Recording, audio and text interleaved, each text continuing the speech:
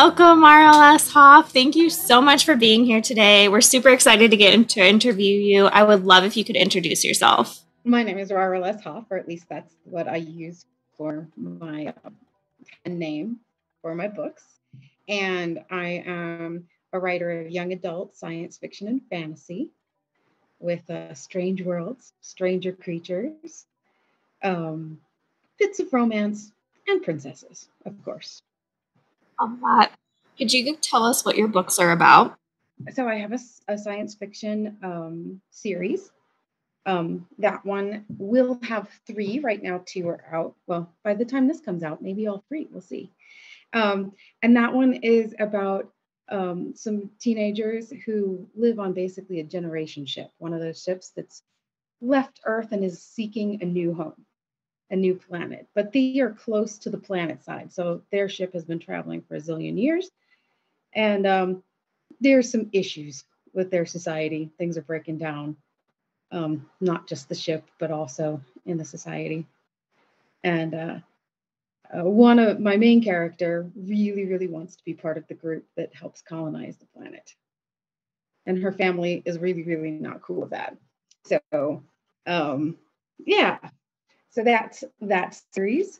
Uh, you know, the first book is how she gets onto the colony team. The second book is kind of traveling there. And the third book is some of the adventures with starting life in a new world. And then we've got one of her friends who stays on the main ship and trying to make that work, um, trying to make the, the old world a better place. So, and then I have some fantasy. Um, uh, the um, well, Songs of Healing is um, in my Decrandia Chronicles. So I have a um, I have a contemporary society. It's kind of a constitutional monarchy where uh, there are two kings and queens. Well, two two royal houses, one that's war, one that's peace, and they're about as divided as uh, political parties in our country.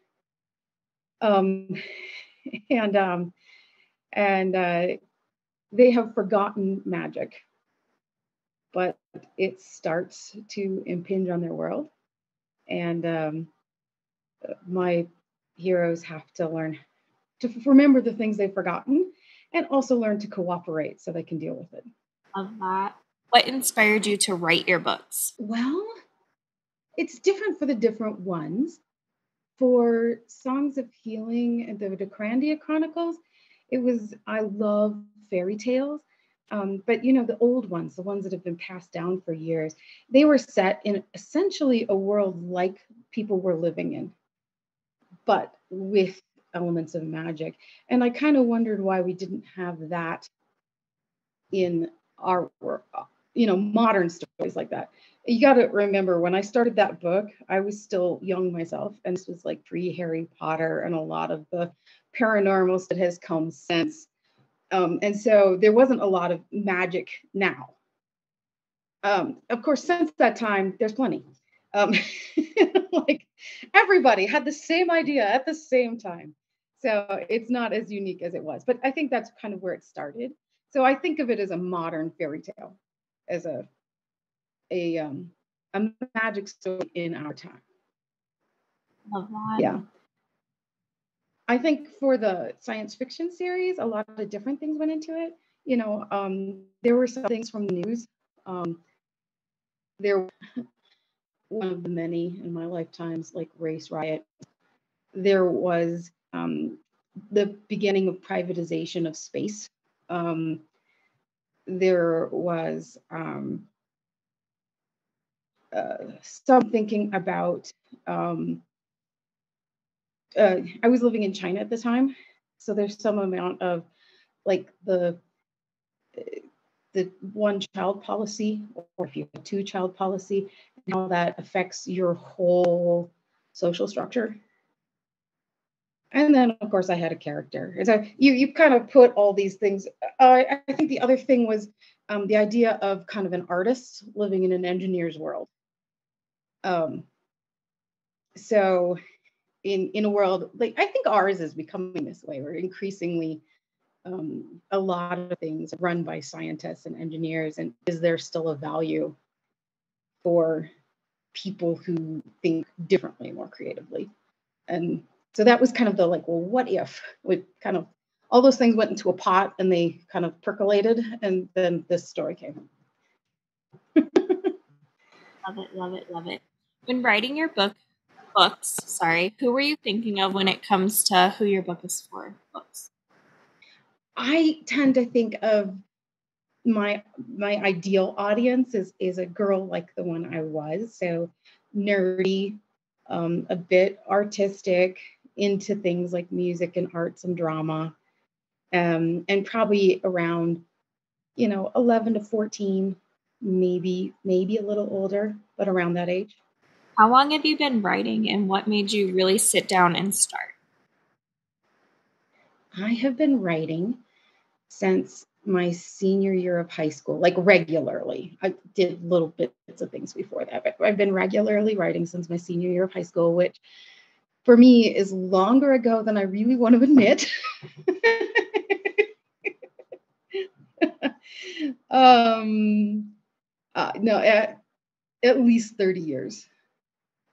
And what made me start, I think, you know, I had this, I had a study hall I had never had a study hall in high school, but my my senior year of high school, my second semester, I wound up with this study hall, and I um I didn't know what to do with myself. I got myself some work in the library, so I was reshelving books, and that was fun because you get to see all the books and play around with them. Um, but a lot of the time, I was just sitting there, and so I'd been interested in writing, and I started writing this book. And then at lunchtime, I would read it to my friends. Um, and that kind of got a habit started and the, the interest and yeah. Uh, what's your schedule like when you're writing a book? Oh goodness. You know it depends. Okay what's it supposed to be and what it actually is a different thing. But i try to get a little bit of writing time every day for a while there i was doing well with a a group that met first thing in the morning, but I'm having trouble getting up at the 5:30. So that's not working as well for me. So I was putting in an hour or two every morning um, just before I started my day. And that's how I get the draft done. I also will sometimes do a like a right now I'm on a weekend where I spent some concentrated writing time getting stuff into the notebooks.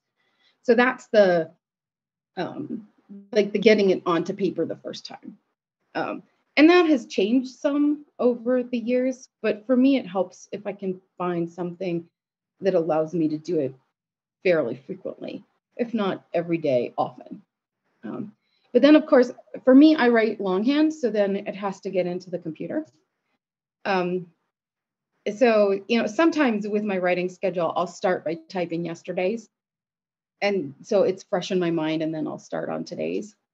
Um, but sometimes I'll go back to it later, you know, like I'll put in four chapters at once or whatever.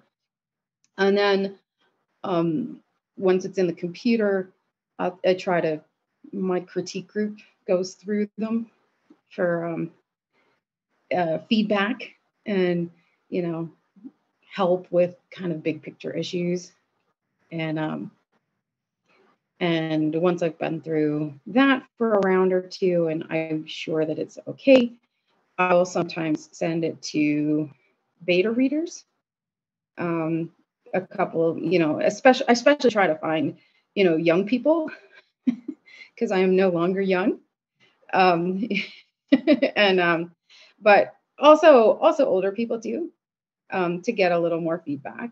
And then I'll incorporate that and then send to my editor who um, cleans up the boo boos. Love that. what do you need in your writing space to help you stay focused? Oh, I, it actually, my writing space is often like a box. So um, I have no windows. Um, because if I had a window, I wouldn't write. Um, although sometimes, you know, I actually do better lying on the floor or on a bed or something when I'm when I'm doing the longhand bit. Um, when I had tiny kids, I got into the habit of being able to write anywhere and for almost any length of time.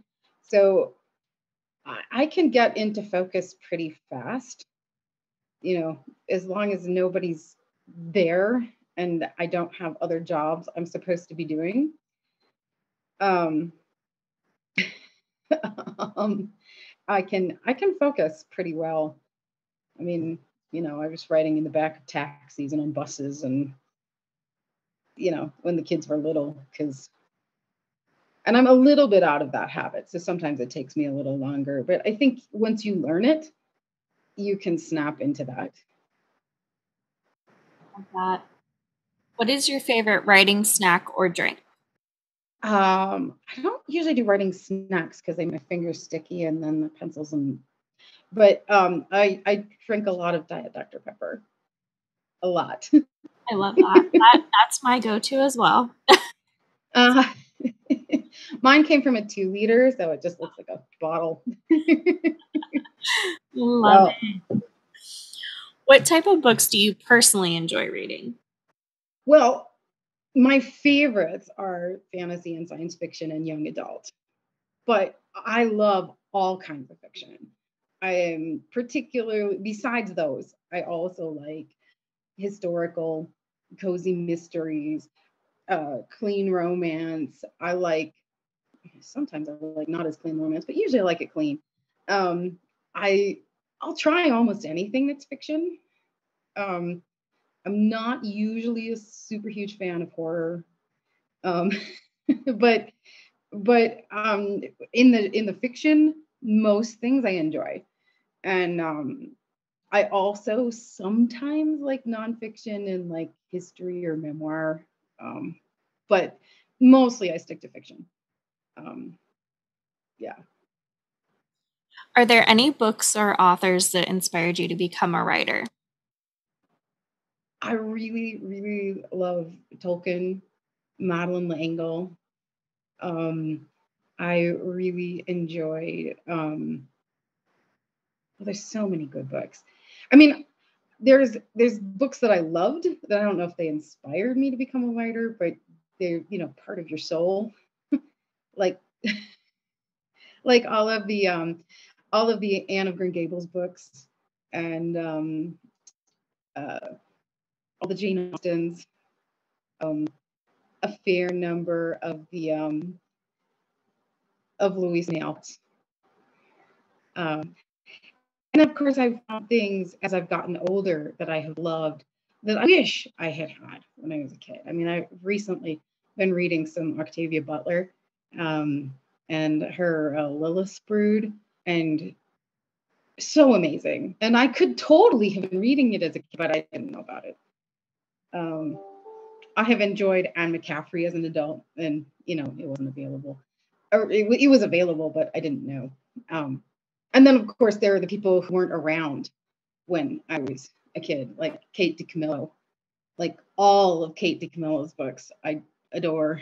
Or um, The Girl Who Drank the Moon. Um, such a lovely, lovely book or I just read one called Secrets, Lies, and Algebra. Um, it was so much fun. um, and uh, yeah, so uh, the, the world is full of lovely books, and I enjoy them. what type of books did you grow up reading? Did you have an all time favorite? Oh, I had too many. I, I did completely wear out at least two sets, like complete sets of um, of the Narnia books. Um, like like they were paperback, and I killed them. and um, uh, and I've I've done that with several sets of Tolkien as well. I finally got them in hardback. I'm like, you know, there is a purpose for hardback, and this is it. um, my Jane Austens are hardback too. Um, I don't know. I um I read some um it was George MacDonald, The Light Princess, but that was just a short story. I liked rereading and rereading. Um, yeah. On the I, I, you know, when I Oh, sorry. I was just going to say when I find a book I love, I tend to read it many times. Um, as an adult, or do you have a favorite series or author that if something comes out from them that you're just going to grab it no matter what it is? Hmm. I will there I have some authors that I will find it. I won't necessarily buy it because I cannot afford to do that with all of the authors that I would like to. But you know, I will check it out from the library. So like the Kate DiCamillo. Um, I do that with the J.K. Rowling stuff and with her um, her mysteries too, which are under the different pen, pen name Galbraith. Um, I do it with um, what is her name? Luanne Smith, does the Vine Witch series, which but of course I've I've met her, but they are so good. I think I when I think when I know the author, I might actually I'll try to purchase them if I can, especially if you know they're not big name and yeah. Um, yeah. Love that you bring up the libraries, though. A lot of people don't realize that that is a resource that they can use. Oh, I love libraries. When I lived in China, they didn't really have them. And it's one of the things that I missed most about when I lived there. I mean, there's things that when I'm here, I miss about there. When I was there, one of the things I missed most about America was the libraries. The, the chance to just check out whatever and and read so much. And actually i just found out that my songs of healing is going to be in the digital collection for my local library. So that's so exciting. Like for colorado. But yeah. Libraries are wonderful. What would you tell someone just starting out with reading again? Find books you enjoy.